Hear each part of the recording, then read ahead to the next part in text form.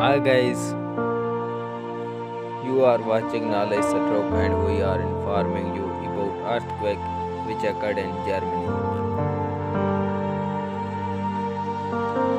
According to United States Geological Survey, earthquake hits Germany.